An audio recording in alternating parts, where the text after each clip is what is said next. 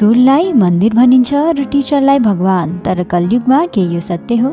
क्लासरुममा आज फेरि टिचर र मिङको बिचमा भनाभन भइरहेको छ। मिङले होमवर्क गर्न मानिरहेको छैन र टिचरले रिसको झोकमा बाँकीको स्टुडेन्ट्सलाई पनि सजाइदिन्छ जबसम्म मिङले होमवर्क सघाउँदैन तबसम्म कसैले पनि घर जान पाउँदैन।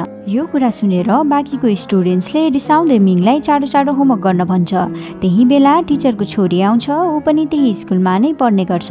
केही बेरपछि एउटा केटी डराउँदै भित्र आउँछ र ढोका बन्द गर्न भन्छ। बोङ पनि आफ्नो बोयफ्रेन्डसँग त्यहाँ आउँछ र डराएर लुक्छ। उनीहरू डरले ढोका बन्द गरिरहेको बेला न्यानो आउँछ र भित्रबाट चुक्कुलाउँछ उनीहरू भन्छन् कि हाम्रो स्कुलमा एउटा केटी सिरियल किलर घुसेको छ र त्यसले हाम्रो हाडी नै एकजनालाई चक्कु हानेर घाइते बनायो। दुईजना मिलेर हतार हतारमा झ्याल ढोका बन्द गर्छन्। मिङलाई उनीहरूको कुरामा विश्वास लाग्दैन र ऊ ढोका खोलेर बाहिर जाने नै वाला थियो। त्यही बेला नै प्रिन्सिपलको अनाउन्समेन्ट आउँछ। प्रिन्सिपल भन्छ कि एउटा फिमेल सिरियल किलर जसले आठवटा मर्डर गरिसक्यो हाम्रो स्कुलमा स्टुडेन्टको ड्रेस लाएर घुसेको छ र उसले तिनजनालाई घाइते पनि बनाइसक्यो। त्यसैले सबैजना समूह बनाएर सुरक्षित ठाउँमा बस्नु। यो अनाउन्समेन्ट सुनेपछि मिङ पनि डराउँछ र ऊ त्यहीँ बस्छ। अब उनीहरू मोबाइल खोलेर सिरियल किलरको फोटो खोज्न थाल्छन् तर इन्टरनेट प्रब्लमले गर्दा कसैको पनि मोबाइल राम्रोसँग चलिरहेको छैन। न्यानो आफ्नो मोबाइलमा सिरियल किलरको आधा फोटो देखाउँछ जो हुबहु न्यानो जस्तै देखिन्छ।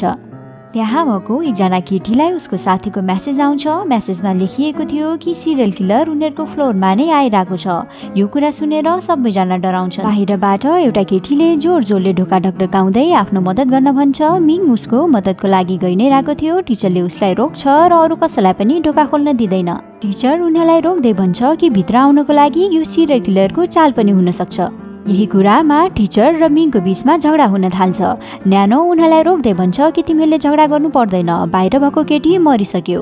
मिङ त्यो केटीको मृत्युको दोष टिचरलाई दिन्छ। टिचर आफ्नो डिफेन्समा भन्छ कि यदि मैले त्यो केटीको बलि नचढाएको भए अहिलेसम्म तिमीहरू सबैजना सिरियल किलरको हातबाट मरिसक्थ्यौ। मिङ रिसाएर टिचरलाई धम्की दिँदै भन्छ कि यहाँबाट बाहिर निस्किन साथ त्यो केटी कसरी मर्यो भनेर म सबैलाई भनिदिन्छु।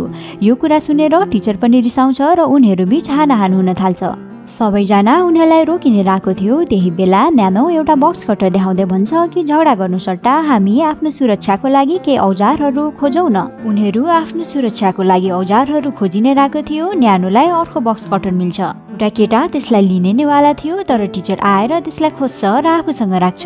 बङलाई पनि केही औजारहरू मिल्छ एउटा उसले आफ्नो बोयफ्रेन्डलाई दिन्छ र अर्को मिङलाई दिन्छ। यो देखेर उसको बोयफ्रेन्ड जेले सुन्छ यहाँ हामी बुझ्छौँ कि उनीहरू तिनजना बिच केही पास्ट रहेको छ। अब रात पनि परिसक्यो तर त्यो सिरियल किलरको बारेमा अहिलेसम्म केही पनि अनाउन्समेन्ट आएको छैन। त्यही बेला नै टिचरको छोरीलाई प्यास लाग्छ। टिचर उनीहरूसँग पानी माग्छ बोङ ब्यागबाट पानी झिकेर दिने नेवाला थियो। उसको बोयफ्रेन्डले उसलाई इसारा गर्दै रोक्छ। यो देखेर टिचर जबरजस्ती ब्याग चेक गर्छ तर उसलाई त्यहाँ पानी मिल्दैन। फेरि बङको बोयफ्रेन्डले ब्याग चेक गर्छ किनकि उसले पानी त्यही लुकाएर राखेको थियो। उसलाई थाहा हुन्छ कि सबै पानी मिङले खाइसकेको रहेछ। यही कुरामा मिङ र उसको बिचमा भनाभन हुन्छ। यही बेरपछि मिङ सजेस्ट गर्छ कि यसरी बसेर हुँदैन। हामीहरू सँगै बाहिर जाउँ तर सबैजना डराइरहेको थियो र उनीहरू मिङलाई एक्लै बाहिर जानको लागि भन्छ। मिङ एक्लै बाहिर जान मान्दैन र यो कुरामा बोङले पनि उसको साथ दिन्छ। तर सबैजना मिङलाई दोष दिँदै भन्छ कि यदि तिमीले टाइममा नै होमवर्क सकेको भए अहिलेसम्म हामी घर गइसकेको हुन्थ्यौँ। तिम्रो लाग्दा नै हामी यहाँ फसिरहेको छौँ। मिङ टिचरलाई भन्छ कि स्टुडेन्टको सुरक्षाको जिम्मा त टिचरको हातमा हुन्छ। त्यसैले तपाईँ बाहिर जानु र हाम्रो लागि हेल्प लिएर आउनु तर टिचर यो कुराको लागि मान्दैन। अब टिचर सबैजनालाई हात उठाएर भोट गर्न भन्छ र बोङ बाहेक अरू सबैजना मिङको अगेन्स्टमा भोट गर्छ। यो देखेर बोङको बोयफ्रेन्ड रिसाउँदै भन्छ कि मैले धेरै नोटिस गरेको छु। तिमी जहिले मिङकै साथ दिन्छौ। अब बोङ पनि बाध्य भएर मिङको अगेन्स्टमा भोट गर्छ। मिङ झर्किँदै भन्छ कि यदि म बाहिर गइहालेँ भने पनि तिमीहरूको लागि मद्दत लिएर फिर्ता आउँछु होला र न्यानो पनि उसको कुरामा सहमत हुन्छ। त्यसपछि एउटा केटी न्यानोलाई सोध्छ कि तिमी को हौ? योभन्दा अगाडि त मैले तिमीलाई स्कुलमा कहिले देखेको थिएन। न्यानो आफ्नो इन्ट्रोडक्सन दिँदै भन्छ कि आजको दिन नै ट्रान्सफर भएर म स्कुलमा आएको हुँ र मेरो पहिलो दिनमा नै यस्तो घटना घट्यो। त्यसपछि सबैजना मिलेर मिङलाई बाहिर जानको लागि धेरै नै फोर्स गर्छ र ऊ पनि बाध्य भएर बाहिर जानको लागि रेडी हुन्छ। ढोका खोलेपछि मिङ नोटिस गर्छ कि बिहान ढोका बाहिर जो केटी मरेको थियो उसको लास त गायब भएको रहेछ। यो देखेर मिङको सातो उठ्छ र ऊ फिर्ता आएर थुचुक्क बस्छ। केही बेरपछि मिङ बाहिर जानको लागि रेडी हुन्छ र ऊ त्यही रुममा भएको एउटा केटी म्याकलाई आफ्नो लागि ढोका खोल्न भन्छ। जब म्याकले ढोका खोल्छ मिङले उसलाई पछाडिबाट धक्का दिन्छ र भित्रबाट चुक्कुल्लाउँछ रुममा भएको सबैजना मिङसँग रिसाउँछ त्यही बेला नै म्याकले बाहिरबाट भिडियो कल गर्छ तर नेटवर्क प्रब्लमले गर्दा उनीहरू बिच राम्रोसँग कुरा हुन पाउँदैन। म्याक कसैसँग डराएर भागिराकी थिए यतिकैमा कल डिस्कनेक्ट हुन्छ। सबैजना मिलेर मिङलाई दोष दिँदै बाहिर गएर म्याकलाई हेल्प गर्न भन्छ र अब मिङ पनि उनीहरूसँग वाक्क भइसक्यो। त्यसैले ऊ पनि बाहिर जान्छ। केही बेरपछि एउटा केटी भन्छ कि मलाई मिङको कति पनि विश्वास लाग्दैन। ऊ हामीलाई मद्दत गर्नुको लागि फिर्ता आउनेवाला छैन। बोङ मिङको सपोर्ट गर्दै भन्छ कि मिङ नराम्रो केटा होइन। ऊ हामीलाई हेल्प गर्नको लागि अवश्य आउनेछ। यो कुरा सुनेर बङको बोयफ्रेन्ड एकदमै जेलेस फिल गर्छ। बङले मिङलाई फोन गर्छ। पहिले त मिङ सबैको व्यवहार देखेर हेल्प गर्नको लागि रेडी हुँदैन तर बङले सम्झाइसकेपछि ऊ हेल्प लिएर फिर्ता आउनको लागि रेडी हुन्छ। उनीहरू बिचको कुरा सुनेर बङको बोयफ्रेन्डको पारा तात्तिसक्यो ऊ बाथरुम जाने बाहना बनाएर त्यहाँबाट निस्किन्छ। न्यानो टिचरलाई उक्साउँदै भन्छ कि यदि हामी यहाँबाट बाहिर निस्किन सफल भयौँ भने पनि आज ढोका बाहिर जो केटी मरेको छ उसको बारेमा पुलिसले छानबिन गर्ने नै छ। टिचर डराउँदै भन्छ कि मैले जे गरेँ तिमीहरूलाई बचाउनको लागि गरेँ। न्यानो भन्छ कि ल ठिकै छ। हामी त तपाईँको कुरा पत्ताउला तर मिङले त धम्की नै दिइसक्यो।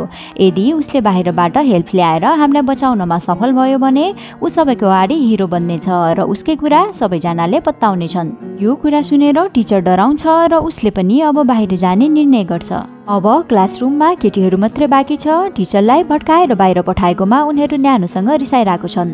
एउटा केटी भन्छ कि सिरियल किलरको हेयरकट र न्यानोको हेयरकट सेम सेम छ। उनीहरू डराउन थाल्छन् र न्यानो पनि यो कुरा सुनेर मरिमरि हाँस्छे। न्यानो आफ्नो डिफेन्समा भन्छ कि म त दिउँसोबाट नै तिमीहरूसँग नै छु।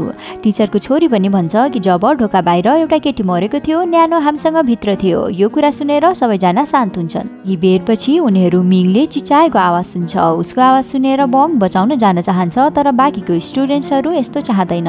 अब सबैजना बाहिर आइसके बङ मिङलाई फोन लाउँछ र कसैलाई पनि थाहा नहुने गरी मिङ भएको ठाउँमा लान खोज्छ। तर एउटा केटीले यो कुराको चाल पाइहाल्छ र उनीहरू बिचमा मोबाइल खोसाखोस हुन्छ यही क्रममा मोबाइल खाल्टोमा खस्छ।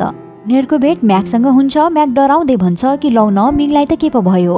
म्याक उनीहरूलाई बाथरुममा लिएर जान्छ जहाँ उनीहरू देख्छन् कि मिङलाई कसैले मारिसकेको रहेछ।